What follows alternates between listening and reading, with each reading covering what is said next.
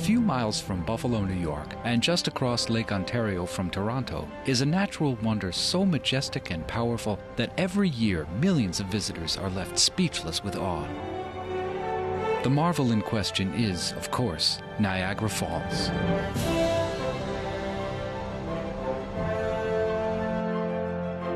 Tourists flock from every state in the Union, every Canadian province, and literally every nation on earth just to see and experience it. Niagara Falls has been an icon for two centuries. For Niagara Falls to have remained iconic, remained as crowded as it is today, it has had to work very hard to constantly reinvent itself. Anything that's superlative or extraordinary like that, people want to be around it and they want to be drawn to it, but also, and this is very important, they want to exploit it. So Niagara Falls was this wonderful falls here, and almost right from the beginning, people started to use it in various ways. The falls seems to generate a magnetism that pulls people to it, and then forever links them to this extraordinary place, to one another, and to their destinies.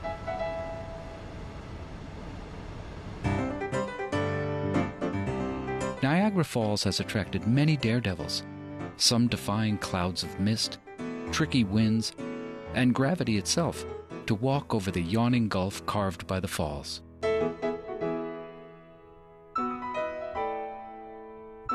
Others, for reasons as diverse as the daredevils themselves, have used some device to challenge the swirling waters of the Niagara River and plunge over the falls.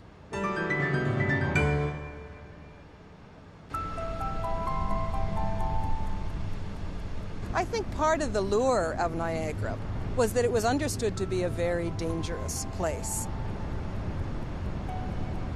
And there's another whole history of people going over the falls, the history of daredevils, etc. If you separate the word daredevil, it's exactly what it is. A daredevil is somebody who goes out and does a daring thing. Maybe they make it, and maybe they don't. They wanted to challenge the power of the falls, you might say. So we had people on tight ropes, we had people going over in barrels, we had people trying various kinds of stunts, jumping into the falls from great heights, and all of these sorts of things. Of course, this also appealed to the carnival atmosphere at Niagara Falls. The general circus atmosphere, these people were like performers, and people came out to watch them.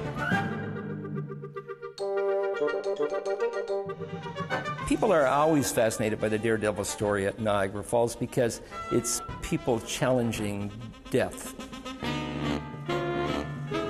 There's that mystique about, you know, I can beat it, I can beat it. So people are always interested in stuff like that. For visitors and daredevils alike, the danger of Niagara Falls is part of the show.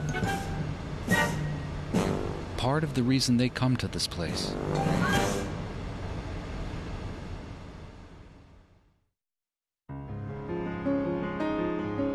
Niagara Falls forms what is arguably the world's most famous and popular natural wonder. This unforgettable display of nature's raw power has inspired poets, scientists, conservationists, politicians, and countless ordinary citizens. As partners through the rest of our lives. As partners through the rest of our lives. Not to mention generations of young couples who have flocked to the falls to get married and honeymoon.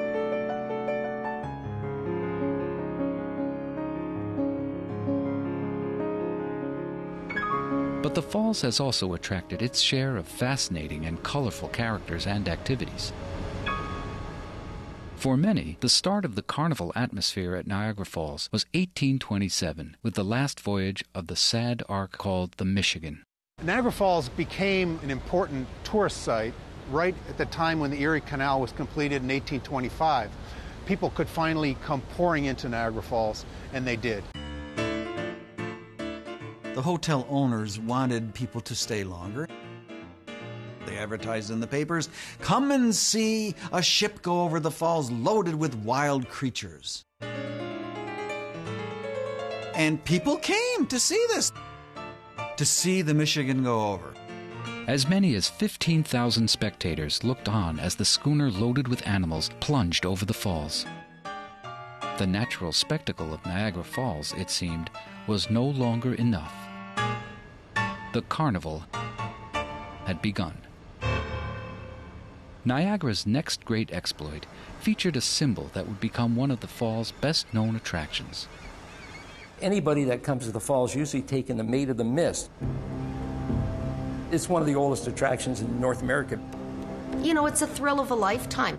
It gives a person a chance to flirt with danger. This is real. You're there. You feel the spray on your face. You know what it feels like. The Maid of the Mist is often called the longest playing thrill ride on the continent. In 1861, a Canadian firm purchased the Maid of the Mist, triggering one of the greatest, if unintended, stunts in Niagara history. Part of the deal was delivering the 72 foot steamer to Lake Ontario, and the only way to get it there was a perilous, seemingly impossible run through the Whirlpool Rapids just below Niagara Falls. Joel Robinson was a fellow that piloted one of the old Maid of the Mists, and he had to take the Maid of the Mist to Lake Ontario. But you see, you can't bring the maid up the falls, and you can't bring the maid down the falls. So Joel took this Maid of the Mist through the lower rapids. The trip was three miles through some of the wildest water in the world. Robinson delivered the boat as promised, but the adventure left a lasting impression. He could barely speak for weeks, and shortly after the ordeal, he retired.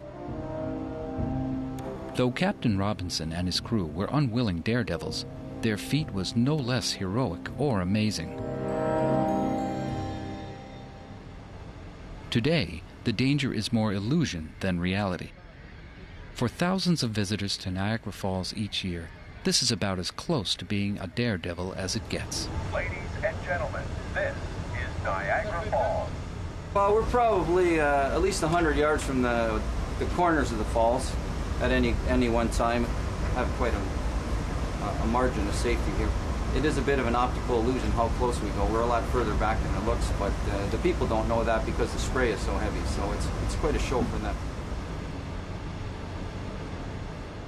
By the early 1800s, visitors to Niagara Falls were looking for more than just the experience of seeing the falls.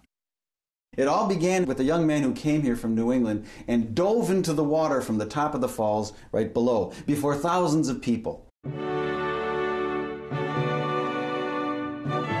22 year old Sam Patch dove 85 feet into the churning waters. Ten days later, he repeated the stunt from a height of 130 feet. Less than a month later, he recreated his feat at the Genesee River in Rochester. Tragically, Patch drowned. Niagara's next group of daredevils would go even further. Another class of stunters here are the rope, or in some cases, wire walkers. Uh, people who walked across the gorge on a rope. I think the wire walkers are drawn to Niagara Falls because Niagara Falls is monumental. Everything about it is big, everything about it is spectacular. So it provides an excellent backdrop for high wire walker. And I think the great love of all high wire walkers is Niagara Falls. And what more spectacular view could you have? People say, what does it look like up there? I have a wonderful view from my office. Every day I step onto the wire, I go to my office.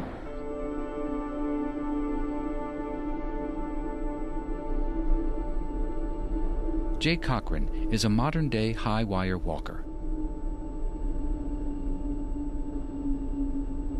He carries on a tradition started by some of the greatest entertainers ever to use Niagara Falls as a stage.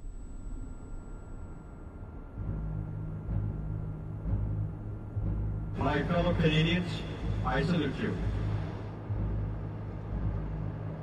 Well, of course, Niagara Falls has held a long uh, line, a long tradition of, of, of tightrope walkers and wire walkers throughout history. It's a about recreating what Niagara Falls was famous for 150 years ago. It's about bringing that second era back. The first era of wire walkers began with a man who would become one of Niagara's most famous performers. Frenchman Jean Francois Gravelet, better known as the Great Blondin. In 1859, Blondin came here and set up a wire across the gorge close to the falls, and all summer long did everything possible on that wire backwards, frontwards, crawling, cooking meals, washing clothes you name it, the man did it that summer, and people were fascinated. And so he started something at Niagara Falls. You have to think about it in terms of nobody ever having done it before. People were stunned that you could even put a wire across in the first place, and it is an amazing engineering feat. And then to actually get on it and walk across on it was even more stunning. He was able to project himself as a kind of a Superman. Blondin was not a daredevil, per se. He really wasn't a daredevil. He knew what he was doing out there on the road. He was a performer. He was not just a rope walker, he was a real showman and an innovator too. He came up with many different ideas of stunts to do on the rope. He was a real showman and drew tremendous crowds. Blondin's death defying acts turned him into a superstar at Niagara Falls.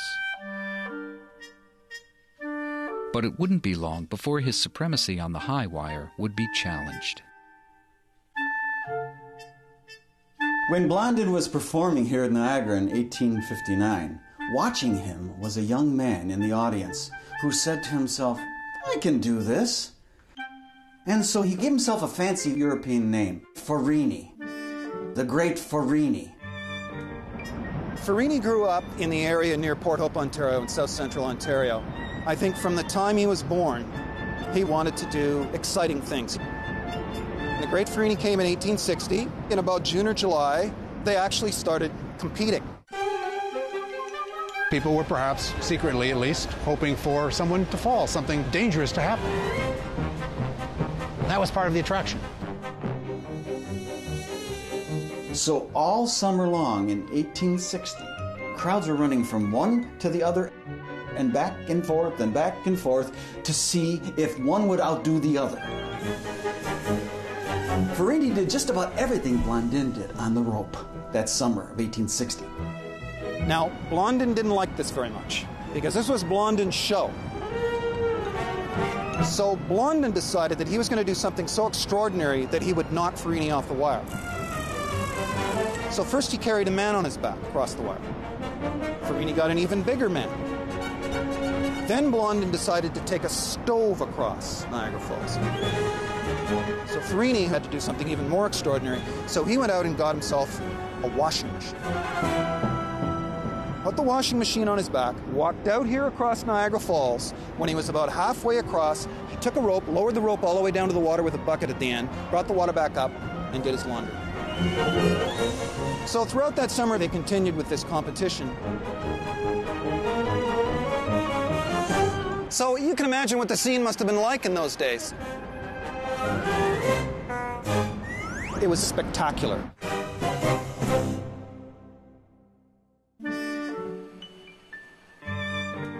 Farini and Blondin parted and never spoke, never became friends.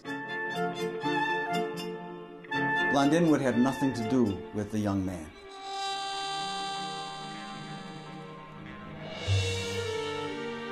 Some people claim that Farini was just as good as Blondin. Others say no. But looking back on history now, the person that is best remembered is Blondin. And the reason for that, of course, is he was the first person to do it. So I think that's why Blondin is judged to be the greater wire walker, and I think he was the greater wire walker. But Farini was a much more extraordinary personality. More than a few wire walkers would follow in the footsteps of Blondin and Farini at Niagara Falls. In 1873, Henry Bellini drew large crowds to his walks on a heavy 1,500 foot long rope stretched near the American Falls. He combined his wire walk with a leap into the water below on a tethered rope.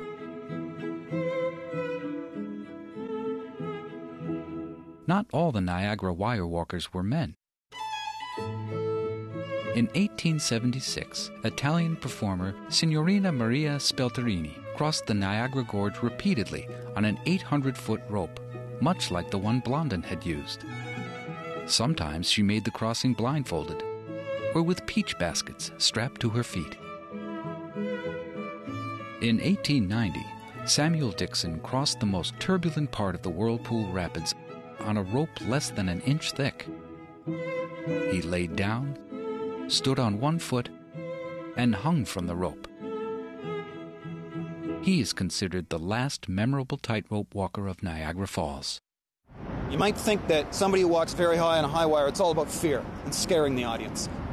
Audiences do come and feel that way somewhat when they come to see somebody walk on a high wire. But when it's done, they're very much inspired by it. They see a human being walking in the sky. They see a human being doing something that appears to be impossible. Walking on a high wire is to take the impossible and make it possible. And I think that's very seductive for human beings because we want to see if we can do impossible things. We want to see if we can do things that other people can't do. What I am attempting to do is carry on what they started. Not just to do what they did, because that wouldn't be accomplishing anything, but to carry it on in a bigger, much grander fashion.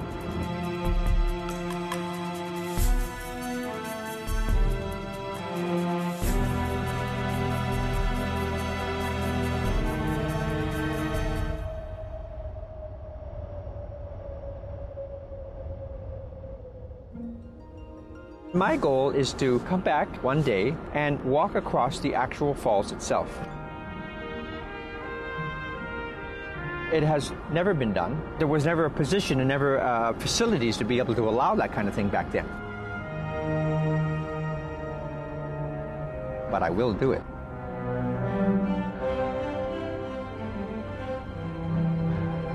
The special thing about Niagara Falls is that it has a long line of tradition and history, and I'm honored to be part of it. People came to Niagara Falls to perform stunts because they knew this is where people came to see something magnificent. They also came here because Niagara has this impression on people of making you want to challenge it. People, when they see something as grand and magnificent as Niagara, they want to do something there to challenge its mighty power and to make themselves as famous as the falls. There's something about Niagara Falls that just connects it to desire. If you go and stand at the very edge of Niagara Falls, there's something about it that's irresistible. There's something about it that draws you. And high wire walkers, I think, have that to an exponential degree. They're drawn to it, they're drawn to that spectacle of nature, and the desire inside them is connected to. I think they got drawn from France or parts of Canada, the United States, or wherever to come to the falls to do what they did but then when they got here, I think there was a magic that really kind of overtook them. And everybody who saw it would be inspired and remember it for the rest of their life.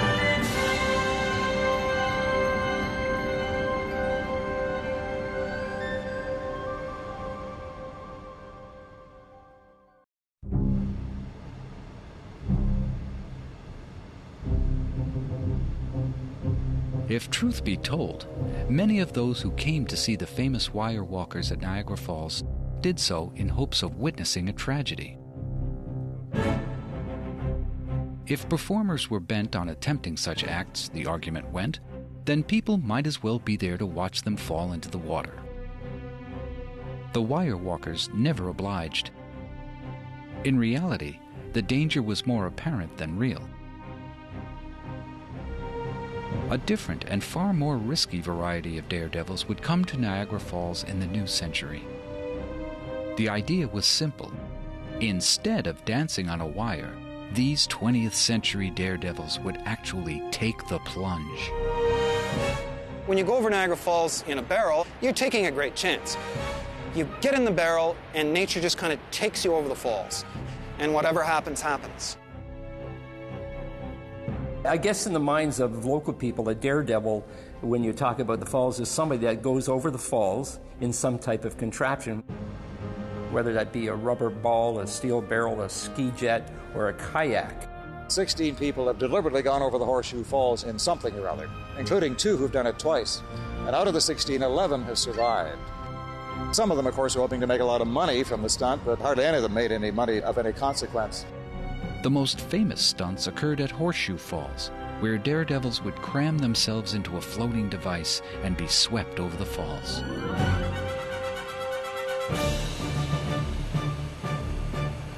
But the first people to challenge Niagara's mighty power did so in the famous Whirlpool Rapids just below the falls.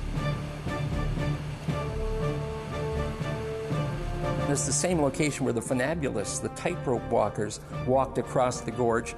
For years, they walked on the ropes. But then people were getting tired of that. So they did something different. They started riding barrels below the falls, and boats below the falls, and swimming below the falls. Many people have gone through the lower rapids below the falls.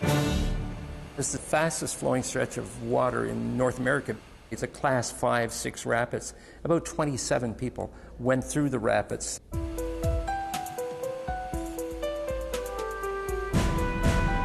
The challenge of going through the Whirlpool Lower Rapids was even greater in the earlier years because there was more water going through that narrow, narrow stretch of, of river.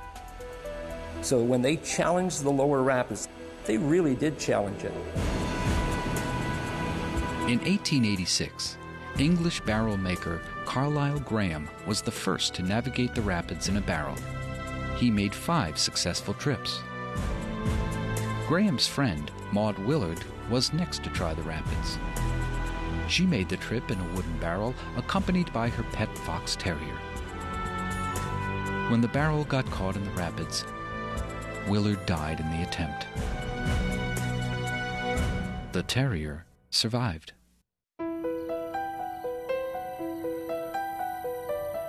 The graves of both Willard and Graham are marked at the Oakwood Cemetery in Niagara Falls, New York.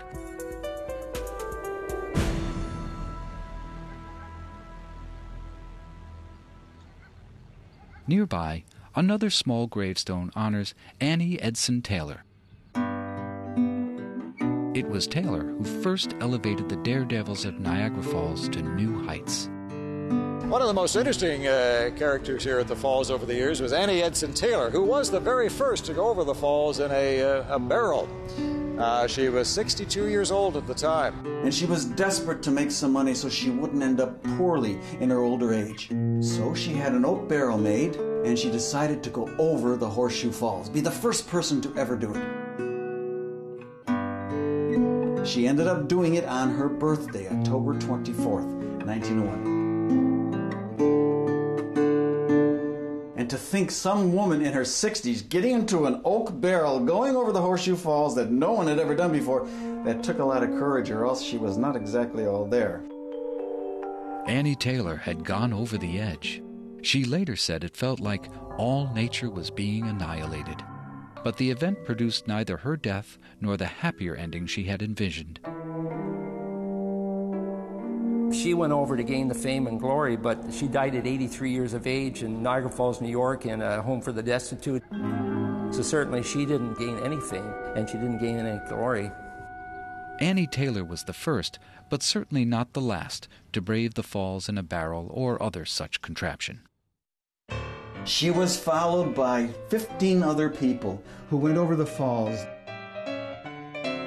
They went over in things from rubber balls to more wooden barrels to tubes from truck tires, all held together with ropes and wires. The next person to go over was Bobby Leach. He went over in a steel barrel July 25th, 1911. Bobby Leach survived his stunt and he went to New Zealand and was walking down the street one day and slipped on an orange peel and he ended up in the hospital with gangrene in his leg and he died from that.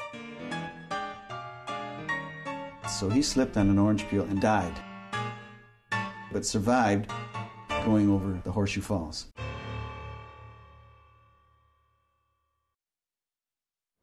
The next daredevil at Niagara Falls would be the first not to survive. Englishman Charles Stephens was clear about his reasons for making the plunge. I want the money, he said. Stephens' preparation did not match his ambition for the perilous trip. Charles Stephens went over in a wooden barrel on July 11, 1920. His barrel was not well made, and when it went over, it fell apart and took his body apart. And all they found was one of his arms still attached to a piece of the barrel. Then we have Jean Lussier, who went over in a rubber ball, steel enforced, on July 4th, 1928. And he survived. Lussier was the first person to use something other than a wooden barrel or a steel drum. He spent his life savings making the rubber ball and later sold pieces of it to make money. George Stathakis is likely one of the strangest individuals to test his luck against the falls. The 46 year old made the trip on July 5, 1930, in a massive barrel. He took with him his pet turtle, said to be over 100 years old. Stathakis explained to reporters that should he not survive, the turtle would tell them about the experience. The turtle survived. Stathakis did not. Adopted by the Niagara Falls Museum, the turtle lived on for many years after his plunge over the falls. When you're near the edge of the falls, there is a draw. I see some people holding onto the railings because it's it, it has that draw, the, the power of water. Most people don't give into that draw. Most people look at it and take a photograph and go back home and show it to their relatives. The odd person says, I'm going to come back and make a barrel and go over. That's an oddity. Many of the devices used by daredevils have not survived the passage of time. Several of the unique contraptions are displayed at the Daredevil Gallery at the IMAX Theatre in Niagara Falls, Ontario. The IMAX experience, we like to think of it as a real and authentic experience. It's as close as you can come to the falls without getting wet. You're not only seeing it on the screen, but you're coming out and that very tactile experience. Just to be able to touch the barrel that went over the falls, or to look inside and see what that person experienced as they were plummeting over the brink. The foam barrel, you'll see where little bits of it are picked off it's like going to the pyramids and picking up a stone. People want to take a little bit of history with them. Among the collection of barrels at the Daredevil Gallery are several that belong to the Hill family, perhaps the most famous family in Niagara Falls Daredevil history. They were known as much for their life saving efforts at Niagara Falls as for their stunts. William Red Hill Sr. saved 28 people from drowning and recovered over a hundred bodies from the dangerous waters. He was a powerful swimmer with tremendous knowledge of the river and falls. His son, Red Jr., helped out on many of the rescues and recoveries. Red Hill Sr. made three successful trips through the lower rapids, the first in 1910. During the last stunt in 1931, his barrel was caught in the vortex but his son swam out and rescued him. Red Jr. followed in his father's footsteps, starting his daredevil career in 1945 with a trip through the Whirlpool Rapids. It was an event in Niagara Falls. I was very small at the time, but I remember the whole family being there and looking over and watching the barrel go through the rapids and, and just being mesmerized by the whole magic of it. Because the falls was the forbidden. It's like the jungle, it's got that same fear factor. Six years later, to honor his father's memory, William Red Hill Jr. decided to attempt an even more dangerous stunt plunging over Niagara Falls. Red Hill Jr. He went over in truck inner tubes with wires and, and netting surrounding the tubes to hold them together and leather straps. He called his device the Thing. He went over August the 5th, 1951. It fell apart and he was killed.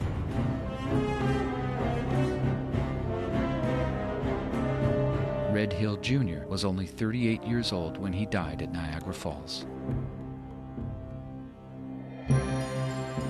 Another of the barrels on display is that of William Fitzgerald, who used the name Nathan Boya for his stunt. His vessel was known as the Plunge-O-Sphere. Fitzgerald never articulated his reasons for doing such an outrageous stunt. He was what we called a quiet daredevil. He never made any fanfare about it. He went over, paid his fine, and then left. Since then, I've talked with Dr. Fitzgerald a number of times, and he still says, hey, I have my own reasons for doing it, and he's really never discussed it.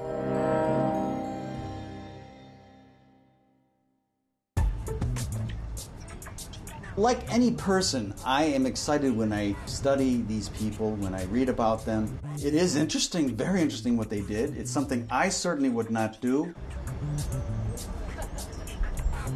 Would I go over in a barrel? Not in your life. I'd never say that the daredevils were foolish.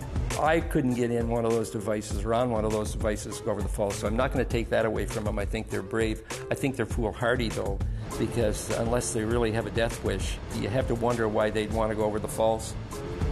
I think most of them needed to see a good psychiatrist.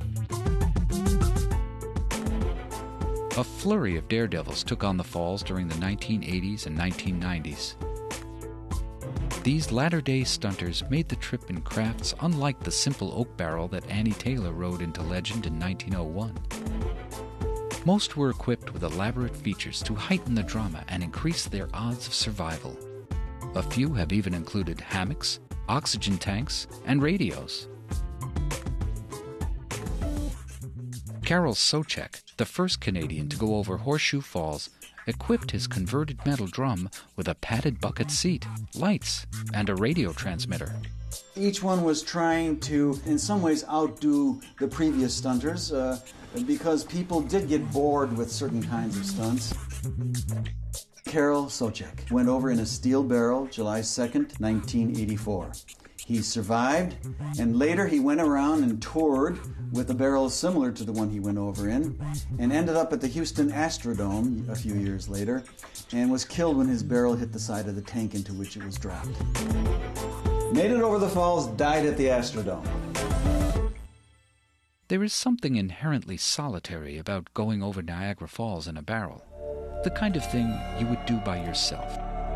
That is, until 1989, when two natives of Niagara Falls, Ontario, created a new chapter in Daredevil history. Then we have the first duo to go over Jeffrey Petkovich and Peter DeBernardi, two Canadians, who went over in a large, large tank, steel tank, with a periscope on it. They had music inside. And uh, they went over September 27th, 1989, and survived. For some people, surviving a plunge over the falls was not enough. Canadian Dave Munday was the first person to go over the Horseshoe Falls twice. Once in 1985 and again in 1993. Dave Munday went over in his aluminum barrel with the Canadian flag on it, October the 5th, 1985, and he survived. David Munday came back again on uh, September 26, 1993, this time in a steel ball, a tank, so he became the first person to go over twice. Over the years, others would challenge the falls. One paddled a kayak, and another rode a jet ski. Neither survived.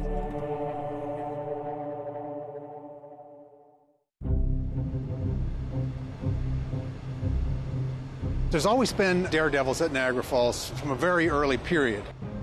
They were people who were attempting to defy death. They wanted to challenge the power of the falls. Most of these people were doing it to gain fame and fortune, to challenge the river's power and its fame, and to become equal with the falls, as famous as the falls. Their fame, of course, is fleeting.